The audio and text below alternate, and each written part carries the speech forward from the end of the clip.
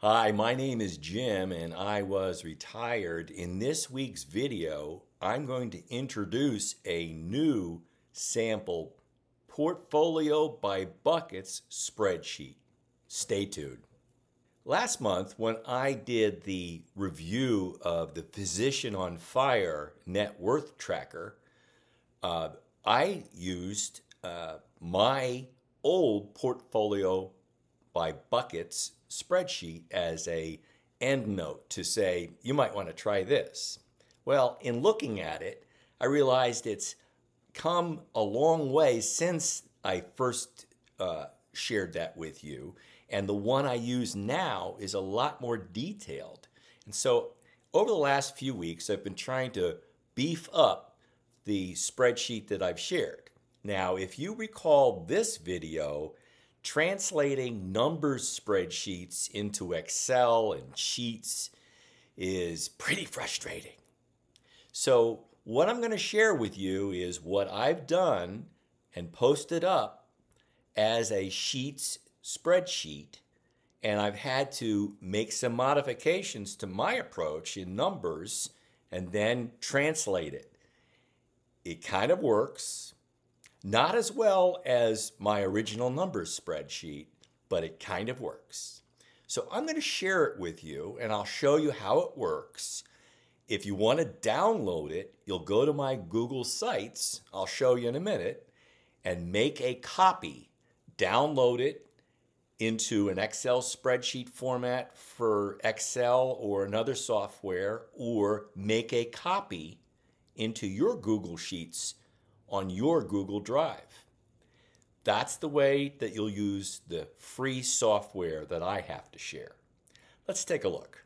So this is my Google site that I created to share links and uh, spreadsheets. And the front page shows my most recent YouTube channel uh, videos. Um, but the most important thing is to go over to the resources page here and look at the links and spreadsheets. For instance, here's the links. And if you go to that physicians heal thyself down here, you'll jump to the links that I shared. If you want the spreadsheets, go to the spreadsheets. And in this case, each one is a little block of content. And I've put this new sample portfolio by bucket spreadsheet at the very top of the page, right above the spreadsheet that I shared in episode 90, the video in December. To access the spreadsheet, you're going to go over to this and you're going to click this little gray box here and it's going to open the spreadsheet in a Google Sheets format. Now, this is just a view only. To work with it, you're going to want to download it here into an Excel spreadsheet or make a copy. We're going to go make a copy here. I just want you to look at it. Then I'm going to jump over to my numbers version of this on my uh, hard drive to show you a better looking view of it. But let me show you what this looks like. I'm going to make a copy. It's going to say a copy of the new sample portfolio by buckets. So on my drive, it's going to be your individual Google Drive uh, you're going to make a copy. This is now a copy that I can edit uh, on my Google Drive. Um, it's separate from the one that you'll find shared on my Google Sites. You'll see that it includes the dummy data that I created here. And I will tell you that if you want to import your data, you're going to have to be careful. You're going to want to put it in between rows 9 and uh, 66. And hopefully you have fewer assets and fewer accounts than this one does. Uh, and then you'll delete the extra rows and you'll delete it in this sheet here, the Google, uh, the Quicken Values Here uh, sheet. But you'll also need to then correspondingly delete the rows that no longer apply in this next sheet and the three bucket sheet. And you'll actually see them show up as reference we don't know where to look because it's missing it in the first sheet. But you'll need to adjust that carefully if you want to do it in Google Sheets, work according to Google Sheets rules, which means that you'll need to double check all the formulas because in numbers, if I did that, the formulas automatically adjust, but in Sheets, they don't. Likewise, if you download an Excel, now I, I don't have Excel on my hard drive, you got to be careful and go over the formulas for each of the uh, counts below to make sure they actually work. So let me give you a quick tour of it in Sheets and then I'll go over to numbers. Here's the values of all the assets as if I downloaded it from Quicken and pasted it here. And again, this is all dummy data, uh, but it gives you a sense of how the spreadsheet works. Then all allocations, if you'll notice, copies the Quicken value here, and that does that throughout all of these. And then for asset class, you begin with the asset class that was on the Quickens, but you need to make an adjustment for each of those to make sure they're they're using the asset classes that you want to use in your asset allocation. In this new and approved version, I have more asset classes, including CDs, cash, I bonds, tips, and treasury bills. So they're greater uh, specificity in the kinds of assets, particularly in the domestic bond category. I've divided up into those government type bonds versus other domestic bonds. I, have included and left in an asset mixture uh, as I had in my old sample. Uh, and again, this would be like a Wellington or Wellesley income fund with a split of fixed income and equity, and those formulas over here work. Uh, this all comes down with an overall assigning the allocation, accounting for that asset mixture into these counts. Now, in these, it's using some SUMIF in tabulating each of these asset classes and that comes down here, um, adds them together, and gets you the current allocation. Um, and then that comes down here to a overall equity fixed income mix.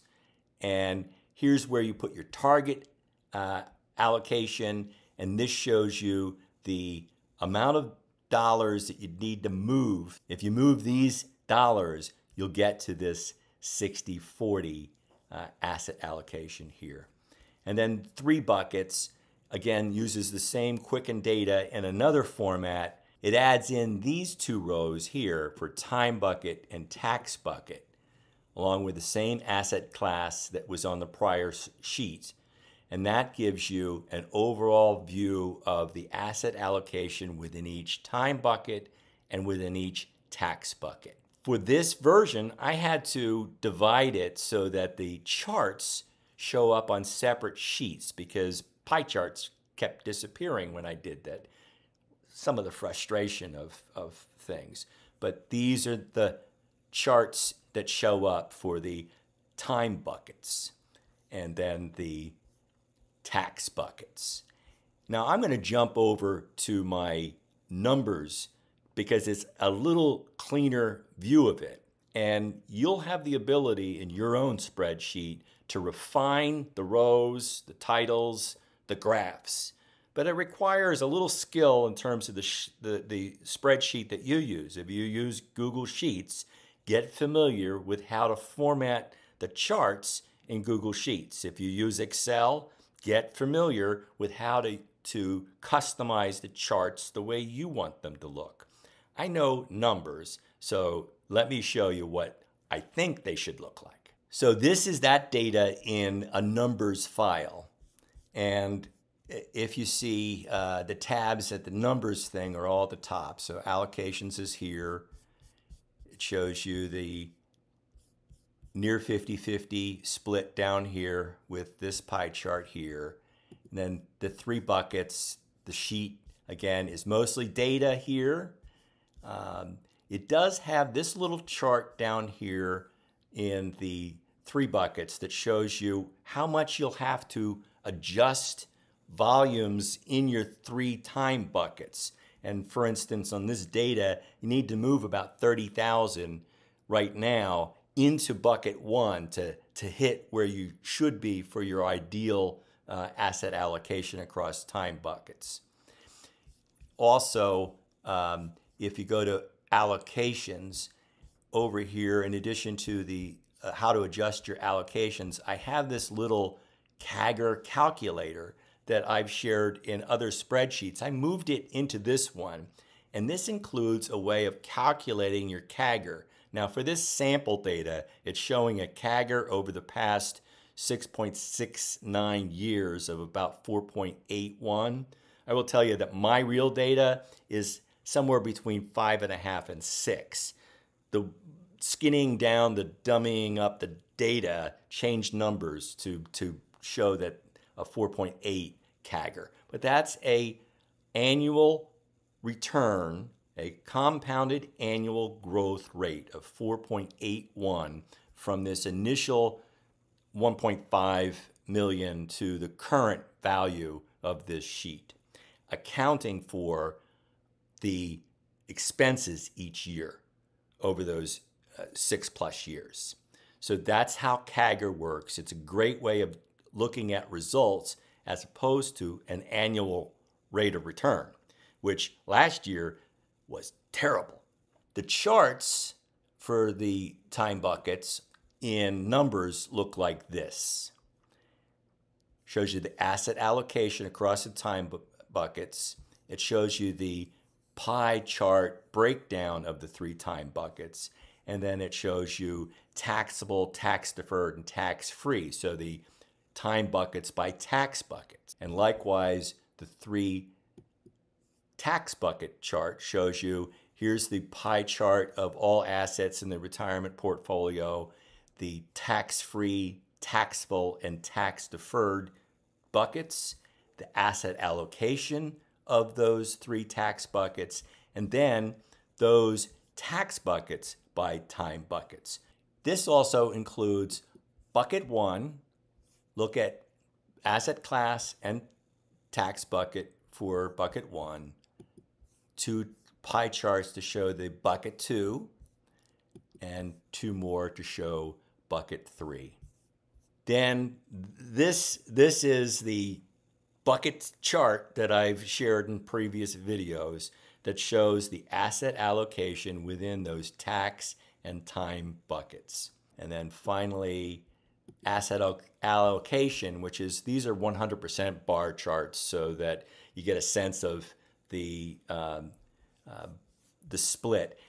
This kind of shows from this, this data uh, began with about a 53 uh, 46 uh, asset allocation at the beginning of the year and has now worked closer to a 50 50. In my own case, I started out close to that 46 overall, and uh, I'm about um, 55 now in my current asset allocation, um, working towards the 60 40 that I want in my retirement. So, this is my spreadsheet. Um, you're free to download it. Keep in mind, I am not a financial professional, I am not a financial planner, I am not an accountant. I'm barely a spreadsheet designer. So please take these as entertaining ideas from one educated consumer to another. So that's my overview of the new sample portfolio by buckets spreadsheet. It includes a closer look to the spreadsheet that I'm currently using for my own real data, uh, including some of the improvements that I have made to it in the, the last year or so take a, a good look at your data and see if this spreadsheet will work at looking at your asset allocation overall and within your time buckets and your tax buckets. I'll be back with non spreadsheet content next week. See you next time.